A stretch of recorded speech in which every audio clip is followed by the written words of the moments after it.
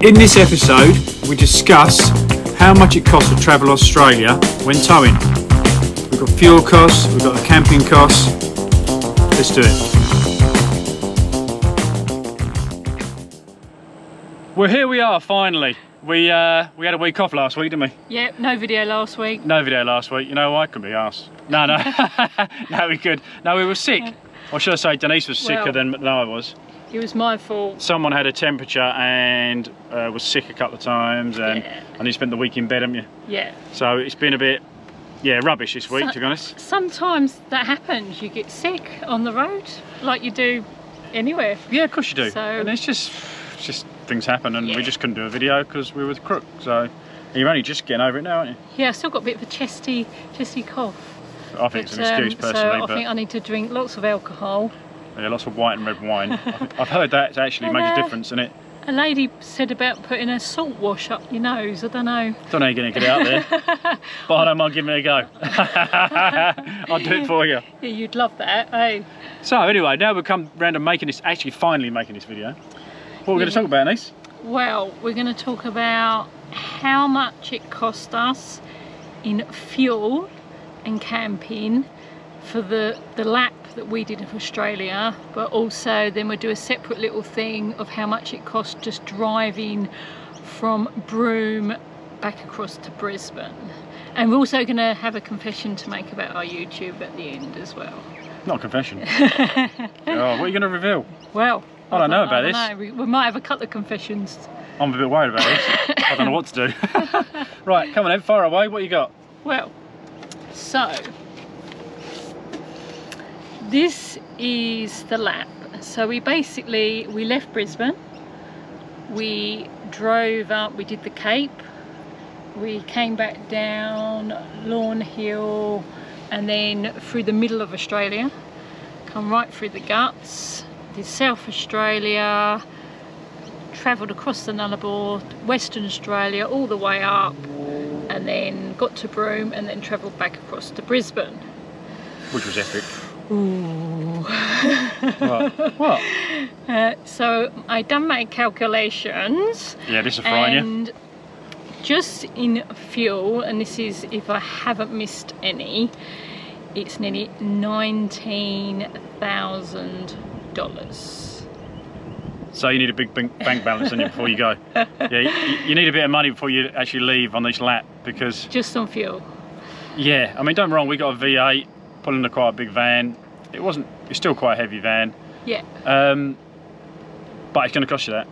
Uh, Even if you had a, uh, a four cylinder and a big van, you're still going to be burning the same amount of fuel. Pretty similar. Yeah. Most people we You might get a little to, bit better, you might not. They get a little bit, few extra Ks per hundred litres, but there's not a lot in it because Nah. because a lot of people are trying to tow a lot heavier vans than what we were towing. With Um, a four cylinder. Yeah, I'm not saying a four cylinder can't do it, but we met a lot of people, didn't we, on our travels, which they were pulling over on the side of the road and they had their bonnets up and their overflow was bubbling.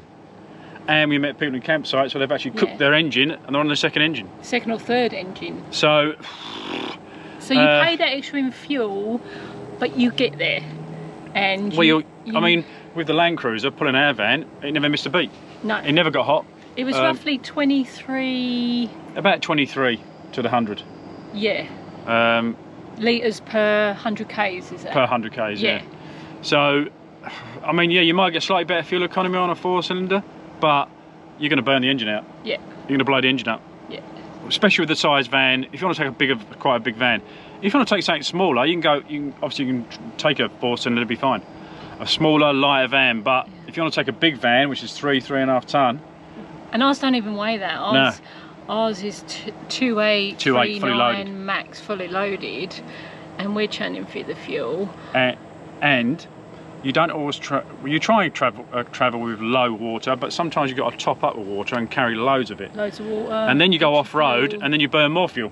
and extra food. It Extra all weighs. food. Everything weighs. Yeah, weight weight is definitely a killer.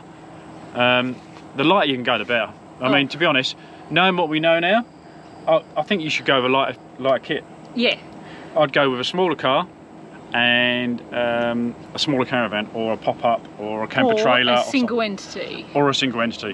which is what we will be doing at this top end trip. Yeah, More I- about that later. I mean, this taking this this time with the caravan and the cruiser and that is glamping. It's not camping. It's glamping. It's luxury and it has been absolutely lovely. We won't. You're pulling an apartment on wheels, ain't Yeah, you? it is fantastic, and you've got that luxury all the time, but it costs you. Yeah, big time in the pocket. Um, yeah, and also not just that. I mean, even with all good intentions, we tried to free camp as much as we could, cheap camp donation camps, but you're still spending quite a few grand on camping. And this is bearing in mind, I reckon I probably missed a few, right, writing some of them down.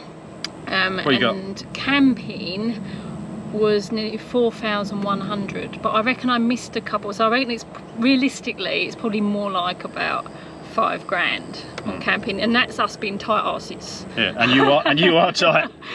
and trying to free camp Yeah, and we've done loads of free camping as camping, much as cheap camping. possible um, yes but that's roughly a year's worth because um, we did go nip back to the UK for a little visit Yeah, we, we've done um, over a year, when it's about 13 months. yeah 13 months Hmm. that'd be But um, yeah, oh, the fuel is going to. That's your biggest expense. The food doesn't change, does it?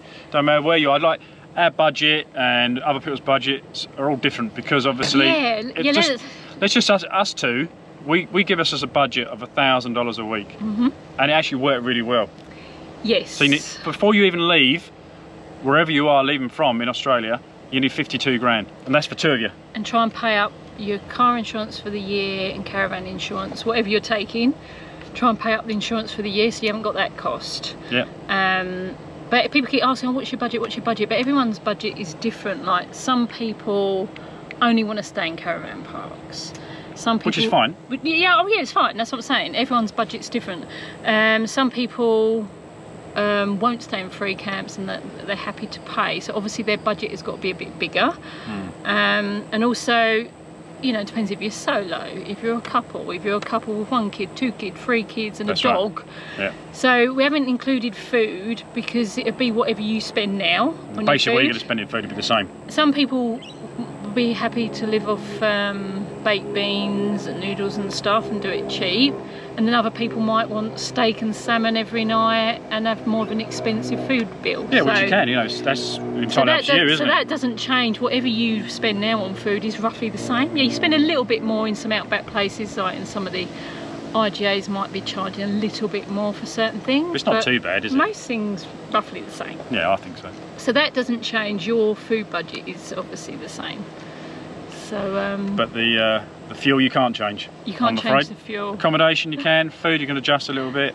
Fuel you got no hope. Oh, and somebody asked us recently in one of our videos about outback garages and whether they have the electric to plug in for an electric vehicle. We have to say, I mean, we wasn't obviously looking, but when we was travelling back across, Didn't see anything, did you? we didn't notice any outback garages with the electric charge point. No. So I think it'd be very hard you'd have to really do your homework on to that To do one. that with an Yeah. electric car. Yeah. And, if and you, run out of power halfway along the road because some of the, some of the Yeah. distances are just ridiculous. Yeah. And how can you store? You can go and get a jerry can of fuel, but you can't go and get a jerry can full of electric. No.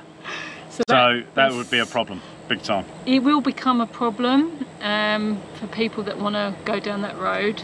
Yeah. Eventually, I guess the garages are going to have to provide. But then saying that, somebody said to us they stopped somewhere and the garage actually run out of diesel and had to wait a week to get diesel. Mm. And that can happen. So never let it get that low. We've been at places where diesel's not got no diesel, we- but lucky enough we still had enough in the tank. Yeah, yeah. we're But enough. we worked on the idea that we only drove until we got to half a tank. When Yeah. there was half a tank left, then we tried to top up. Um, but so we, we looked ahead, didn't we? So we actually knew Yeah. that it was garages coming up, how much they were.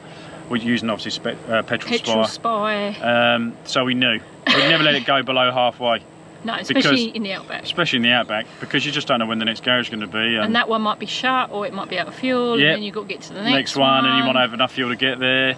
So we didn't Uh, carry any more than what's in the tank. We took a jerry can, we never used it. Never used it. Yeah, because they asked we didn't us need that. Did we carry extra fuel? No. You won't need it. You don't. You don't really need a long range tank. Not really. No, well, it's handy the hun- having a 130 litre Yeah, we've got a 130 litre tank. Yeah, but our vehicle is more thirsty than say a four Yeah, cylinder yeah. with a 75 litre or a 70 litre tank. Mm. So um, Obviously, if you have got a four cylinder, that's fine. You can you can go around a four cylinder and you can pull a big van, but you're going to you're going to burn the engine out. You're going to do some damage, I think, because we've met so many people. But Yeah, that's just from experience That's from people we've met experience on the we've met, road. We're yeah. not just saying it because we got a V8 No. and da da da. da. because we could have gone in our No. Mitsubishi Triton and taken a smaller van. Well, we started with our Triton. And we did four months, Yeah, and then even with towing the uh, van that's way under three ton, it struggled at times. Yes, he didn't and like it. We thought we're going to cook the engine because well, you got to think you're not just going away for a two week excursion. You are towing day after day, month after month, and you're towing for a year. and massive distances. And And everyone, you know, you'd think Australia's flat, but it's not. no, It's up and down. Uh, You're always climbing a hill or always going down a hill. Always Yeah. climbing a hill, going down a hill. It's just, it's just constant. So, and also you get a headwind. oh, Jesus Christ, you chew through the fuel then. that is a killer. But the other way around, if you get one up the backside, it's great. then it's nice. Because you're only touching the accelerator and the wind's You're blowing you along. "Ooh, I'm flying. So it's brilliant. So yeah, it, it's very hard to give a sort of an honest answer. You can only give what you've actually done, isn't it? Yeah. Your experience. Because every experience is different for everyone. Every, everyone's different. But a load of people asked, so we thought, well, we might as well do the stats. So, our last sort of videos, we left Broome and we decided to make that decision to drive back across to Brisbane um, um, to go back to work. So, we came, yeah, across and hit Rockhampton and then come down. Yeah. That's the way that we came. And fuel, just for that, was 1,714 Just to get from Broome. just to get from Broome back across to Brisbane. So one side basically of Australia to the other. And, but we only spent $50 in camping because we only had two nights at Katherine. Yeah, the rest of it was free camping. So the rest was free camping. So that was good. You can counterbalance it there. But since we've been, we've we got this is where we've got the confession to make Oh no, what have you done now? with our YouTube. Well, it's like this. We've been too busy having such a good time that we fell behind. And then it got to a stage where we was a month behind, two months behind, three months behind. Uh, so we was quite a few months behind. Who was? So, um, but everyone's the same. We met a lot of YouTubers when we was up Cape York, Yep. and they were all the same, at least three months behind. So when you see someone's YouTube video, a lot of people, some reason, some people think you're more or less live, You're not. um, but you're not. Most are a minimum three months behind. We are gonna. Tr- so we've actually been back in Brisbane for a while working yes. and it did justify that fuel because now when, as soon as we got back here we got work straight away we're getting good money we saved loads of money Apart from last week, um we was tended to be sick. yes we're all sick because we're casual obviously don't get sick pay Nah, Um, nothing. So yeah so but this time when we go off when we do this top end trip we're going to try and be quite current within a few weeks Oh yeah. if we can I hope you can keep that up. probably not You hear it right? It's right here, right? You're hearing it now. She's going to be current. I don't think she will I'll be, be but having a good time and I'll blow it. I'm not doing a video this week. she's too, too busy drinking that wine, I reckon.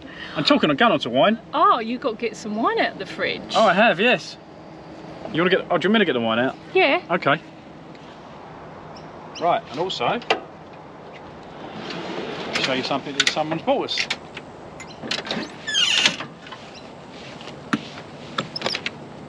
In the fridge. Our friends in New Zealand have bought us a bottle of wine through um, buymeacoffee.com. Um, it's the boys Tasman Travels. They're our favourite YouTubers in New Zealand and they're just awesome. And um, yeah, through the Buy Me a Coffee, they sent us some money and said, buy yourselves a bottle of wine. So how nice is that? That is just so nice. Yeah, what a uh, lovely gesture. yeah, even though it's buy me a coffee, obviously you can use You can buy Denise wine, she loves it. you can spend the money on whatever you like. you won't hear many arguments from her. But yeah. Well, by the way, we might as well have a little tipple of this Yeah, we might have a little So we bought ourselves a just a little bottle of uh, Jacob's Creek, Yeah, didn't we? We thought, well, because they said buy ourselves cheap bottle, which it which is cheap, well. Because we don't buy expensive. No, we don't buy expensive anyway. Well, well, knowing you, you could probably get 10 um, bottles and price that some people pay for one. So cheers, boys. That is just. Thank you very much. lovely. Really, really lovely. Um, good on you. Thanks. Carry on making your videos. We're, Yep. we'll carry on watching. That's it. Definitely. Well, it's quite nice. Lovely. You don't mind a bit of wine, do Really nice. No, I love a bit of wine. I'm feeling, oh, as you can tell, a little bit better. Oh, you are, aren't you? Drinking wine then. That's the first drink you've had for over a week, which is very rare. My veins are just like, you know. Pure, pure water now. blood. There's no alcohol in them. Usually they're full up of alcohol, aren't they? So, I don't think we've got anything else to talk about. Um, Here we are. what? Oh, there's all things to talk about. I, can talk, I can talk all day. Bore everyone to death. I know. Well, you've got to watch this space. We've got another video coming out where we're going to show what we're doing to this. What we've done. Well, yeah, what, What we've done and what we're doing. Yeah. for our big top end trip. So catch it next time on next video. Catch you next time. See ya. Cheers. Don't forget to like and subscribe and hit that notifications bell and follow our adventures around the globe.